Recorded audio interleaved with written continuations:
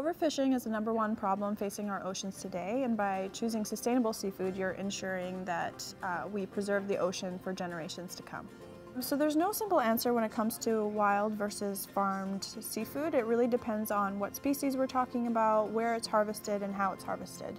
OceanWise recommends sustainable seafood based on four main criteria. So we look at the health and abundance of a population, we look at the impact of a fishery on a stock, we look at the impact of the fishery on the wider ecosystem, um, as well as the effectiveness of management.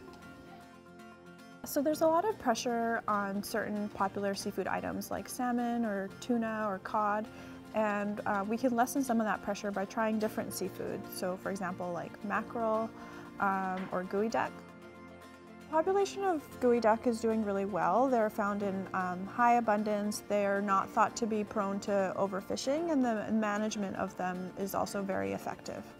Farmed duck is also OceanWise recommended as a sustainable choice. They um, don't require any input like any other shellfish, so like clams or scallops or mussels. Um, you don't have to feed them. They are filter feeders, so they're feeding on the water column essentially, and kind of have the same inherent life history qualities that a, a wild duck has. All our recommendations are available online. Um, we also have an app, as well as if you're dining or purchasing seafood at a uh, partner restaurant, you just have to look for the OceanWise symbol on seafood that we've um, recommended.